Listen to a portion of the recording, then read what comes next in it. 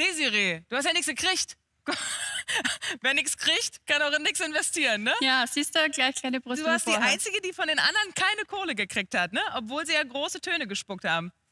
Ist aktuell noch der Stand so, bis auf zwei Leute, die haben mir heute das Geld in Bar gegeben. Ähm, ja, wird sich jetzt zeigen, wer sein Wort hält und wer nicht. Heute in Bar. Ja, wie eine Stripperin.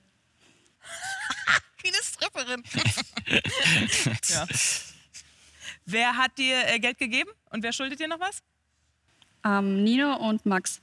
Antonino und Max, die haben dir das Geld gegeben. Und der Rest nicht? Keine Pinunse. Also mein Versprochen ist ja versprochen. Also. Ich stelle keine Ansprüche an jemanden. Ich bin gespannt, wer sein Wort hält und wer nicht.